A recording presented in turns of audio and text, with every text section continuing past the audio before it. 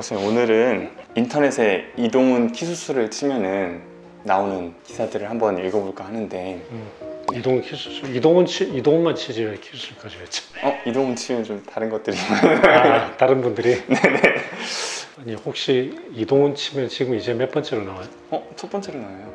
아 진짜? 네 저희 아니 그 나 PD가 맨날 찾아서 그런가 이거 혹시? 어두 번째네. 내가 상위권으로 올라갔는데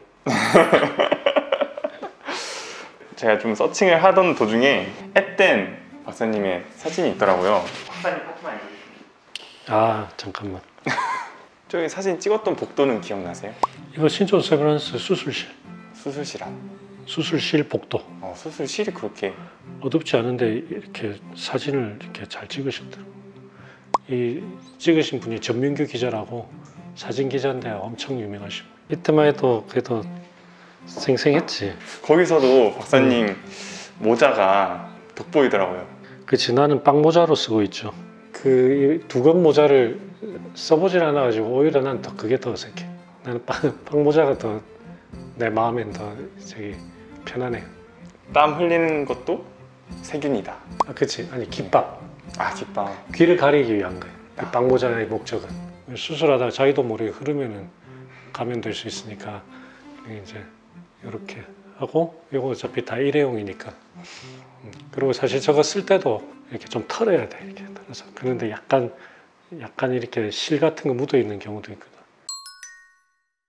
보니까 음. 연세대의 드림팀이라는 별명이 소아정형외과 드림팀 해가지고 아시고 계셨나요? 응? 아시고 계셨나요? 내가 있을 때 드림팀이었지. 어, 지금도 소장이시고 그때도 소장이 김현우 교수님이 소아정형외과를 저 두루두루 아주 그냥 잘 하시지만 그 중에서도 뇌성마비 아니면 소아 손, 발 이런 거에 굉장히 뭐 뛰어나시죠. 대한민국 뇌성마비는 대부분 김현우 교수님한테 가죠. 대성마비는 어떻게 고치는?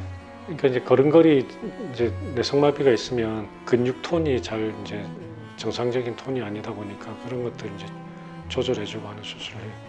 그리고 나는 이제 소아정형외과 분야에서 어, 사지 연장 변형 교정, 그 다음에 소아 스포츠. 소아 스포츠 소- 애들도 많이 그 이렇게 관절도 다치고 하고 내가 옛날에 관절 내시경을 삼성의료의 안전한 교수님 밑에서 배워서 내시경 되게 잘 하거든.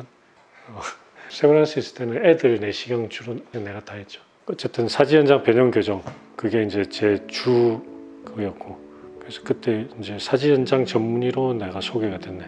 해외에서 더 유명. 지금도 음. 환자의 대부분이 또 해외 순.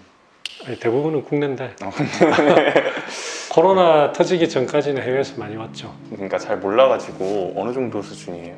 해외에서 뭐 가깝게는 중국, 일본 그다음에 좀 상상 못하던 그런 나라 뭐 예를 들면 아일랜드에서 온다든지 아니면 프랑스에서 온다든지 어, 싱가포르 이런 가깝잖아요 그죠 뭐 싱가포르 필리핀 미국 캐나다 여기는 잘 아는 나라들이니까 뭐 하여간 많이 와요 몽골에서 뭐. 다른 병원과는 다른 점 아닌가요? 어떻게 보면 진짜 신기한. 그쵸 나는 학회에서도 외국에서 더 많이 먼저 알려졌으니까 역수출 이동훈 박사의 뼈 있는 이야기 여기 보면 이제 이미 국내에서 최고의 키 수술 전문가로 잘 알려져 있는 그는 최근 사지 연장 및 병현, 변형 교정 분야에서도 세계적인 주목을 받고 있다. 2011년 세계 최초로 자가 골수 줄기세포 농축액을 이용해서 뼈 형성을 촉진시키는 수술법을 임상적으로 성공해 화제가 됐다. 지금 11년? 2011년 이거 가지고 내가 13년에 뉴욕에 가가지고 그때 발표할 때 네 개를 그냥 발표를 했는데 그 중에 하나. 논문을 그때 세 개를 네 개를 발표를 했는데 북미 사지연자 학회 가서 최우수상은 하나만 주니까 내가 그때 받았거든. 이 네 개 중에 하나로 받았거든. 그거 포함해서 두 개 더 해서 세 개를 CORR이라고 하는 정형외과 학회지가 있거든. 정형외과 top journal이에요. 전 세계 정형외과 저널 중에 top journal 거기 네 개 발표한 것 중에 세 개를 저널에서 초청을 했어. 우리 저널에 논문을 내라. 실어줄게. 그거 대단한 대단한 건데 잘 감이 안 오지. 이게 적절한 비유인지는 모르겠지만은 칸 영화제에 나는 가만히 있었는데 영화제에서 여기에 출품하세요 한 거지. 그러니까 이게 대중적이었다면은 음. TV에도 나오고 윤여정처럼 그치 이게 이제 우리 이 세계가 워낙 작고 아무도 관심 안 가지는 세계라 그렇지 이게 영화제 이런 거면 이 뉴스에 나, 나름 나왔겠죠. 뼈를 늘릴 때 이게 뼈가 잘 안 나오는 경우들이 종종 있거든요. 잘 안 나오면 그때 뭔가를 조치해가지고 이렇게 하는데 예방적으로 뭔가를 더 이렇게 하면 처음부터 뼈가 더 잘 나와서 뼈가 안 나올 확률이 줄일 수 있는 방법이 없을까를 생각을 하다가 이제 우리 골수에는 골수 줄기 세포들이 있잖아요. 음, 조상 세포들. 그 세포들을 이렇게 농축을 해가지고 내 수술하는 데다가 그냥 뿌려주면 이렇게 번지니까 피가 나오면 피가 굳잖아요. 피가 굳는 그 원리를 이용해 가지고 골수 줄기세포 농축한 거를 딱 들어가면서 서로 만나게 만들면 그게 딱 gel type으로 몸속에서 변해. 그럼 내가 원하는 곳에 걔들이 딱 아주 그냥 와글와글 모여 있는 거지. 그래서 뼈가 엄청 잘 나와요. 그때 이제 HSS에 이제 닥터 로즈 브루라고 우리 이쪽 분야에서 또 되게 유명한 분이 있어요. 그분이 그때 이제 처음 나한테 말을 걸었어. 자기도 이런 그 자가 골수 줄기 세포의 big believer다. 되게 이제 흥미롭다고 그렇게. 근데 하여간 지금도 나는 이- 이제 이 방법을 쓰고 있죠. 너무. 좋아요. 진짜 주목을 받으신 거예요. 근데 그때 기분이 너무 좋았어요 그때 내가 수술한 환자들 가지고 내가 모은 데이터를 가지고 내가 논문 아이디를 짜고 모든 걸 이렇게 다 내가 구성을 하고 해가지고 나가서 발표하는 첫 무대였거든 근데 거기서 이제 최우상도 받고 막 우리가 RTC라고 해가지고 randomized controlled trial이라고 해서 그 논문 중에 또 되게 굉장히 인정해주는 그런 논문의 어떤 연구 방식이 있어요. 그 evidence 레벨이 되게 높아. 그만큼 또 이게 연구하기가 힘들거든. RTC는 미국 같은 데서 RTC를 발표하고 나면 일단은 누가 나와서 질문을 할 때 congratulations부터 시작해. 이 RTC를 했다라고 하는 걸 먼저 축하를 해주는 거예요. 그 발표했던 것 중에 이제 RTC가 있었는데 그때 그 RTC를 했던 논문이 뭐냐면은 그 보톡스 보톡스가 근육 줄여주는 거 아닌가요? 그 당시에 이제 그 펠리생이 미국에 이제 펠리생 있죠 내 선, 선생님 known Dr. Dong Hong Lee for seven or eight years, and uh, he's one of my best students. 펠리생이 이 연장 수술을 할 때 근육이 저항을 하잖아 근육이 저항을 하는 게 정말 많은 문제를 일으키거든요 그 근육 저항을 줄이기 위해서 그 선생님 하시던 방법 중에 하나가 수술하면서 근육에다가 보톡스를 이렇게 놓는 거야 그러면 이제 저항이 줄어드니까 늘릴 때 여러 가지 문제나 통증이나 이런 것들 줄어든다라고 하는 이제 컨셉이었거든. 이제 한국에 와서 이제 내 수술을 하면서 이게 진짜 얼마나 효과가 있는지를 나는 모르겠는 거야. 증명된 게 없으니까. 그래서 스타디를 한 게 환자한테 동의를 받고 한쪽에는 보톡스를 놓고 한쪽에는 보톡스를 안 놓고 그런 식으로 이제 해가지고 쭉 데이터를 모아봤더니 아무 효과가 없는 거야. 그러니까 보톡스를 놓은 쪽하고 안 놓은 쪽 아무 차이가 없는 거예요. 그래서 그거를 발표를 했어. 아무 차이가 없다. 스승님은 뭐가 되나요? 아니 근데 나는 나는 그때 진짜 그런 생각이 없었어요. 아, 네네. 그걸 발표하면서도 이게 펠리생님을 좀 곤란하게 만들 수 있다는 생각을 정말 안 했어. 그냥 오로지 오로지 학문적인 입장에서만 생각을 했던 것 같아요. 내가 그걸 발, 이제 발표를 딱 하니까 이제 보통 발표 끝나고 나면 질문하는 사람들이 막 나와가지고 줄 서서 질문하고 질문하면 내가 답하고 이러거든. 펠리생이 나와가지고 이제 코멘트를 했어. 코멘트. 허벅지를 하면 좀 다를 수도 있다. 효과가 있다. 많은 경험을 했다라고 이야기를 했는데 그 뒤에 또 어떤 교수 나와서 닥터리가 RTC 했는데 RTC에서 효과 없다는데 뭔 소리냐 이제 이런 식으로 돼버리니까 내가 와, 좀 앞에서 살짝 그렇더라고. 그래서 근데 어쨌든 나중에 밥 먹으러 갈 때 펠리생이 옆에 와서 네가 자랑스럽다 이제 그 이야기를 하더라 하시더라고. 뭐 펠리생 워낙 뭐 위대한 분이니까 어, 뭐 이거는 그냥 하나의 에피소드인 거고. 근데 이제 한국 가서 내가 허벅지를 또 해봤지. 아니 허벅지는 또 다를 수 있다고 하니까. 궁금해지니까 또. 어 그치. 그 허벅지 연장할 때도 또 스타디를 해봤지. 한쪽 하고 한쪽하고. 허벅지는 또 이제 근육이 더 많잖아요. 더 많지. 네. 근데 그것도 아무 효과 없더라고 그래서 그것도 그것도 10월 날에 실었어. 이거 둘 10월 날- 아까 종아리 그는 10월 날에 초청 받아서 실었고 허벅지는 그냥 내가 보내가지고 10월 날에 실었어.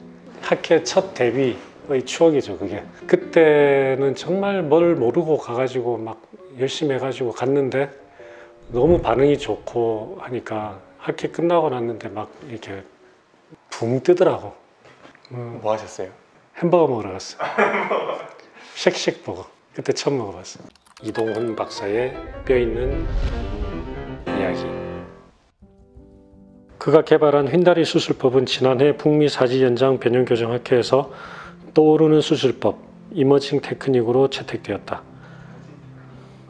그러니까 이제 학회에서 그 이머징 테크닉이라고 하는 어, 이제 떠오르는 그 수술 기법 이런 이제 세션을 만들어 놓고 거기에다가 이제 가서 강의를 한 거죠.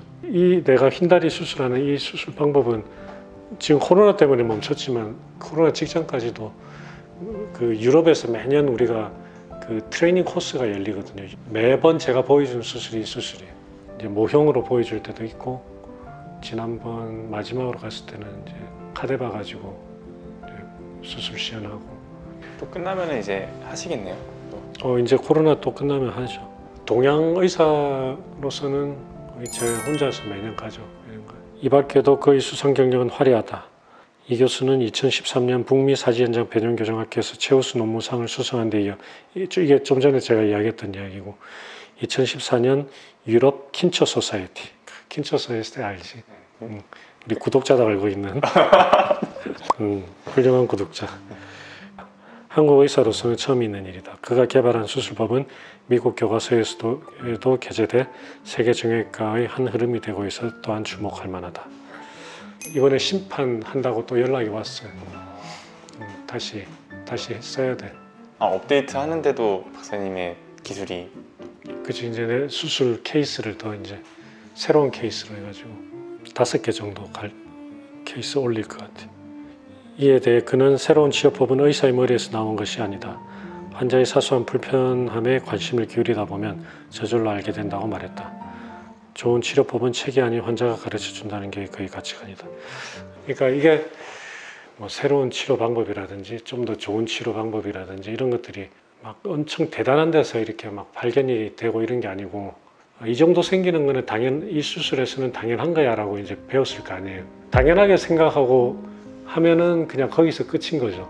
그거를 어떻게 하면 해결할까를 이제 고민을 하다 보면 새로운 게 나오는 거거든.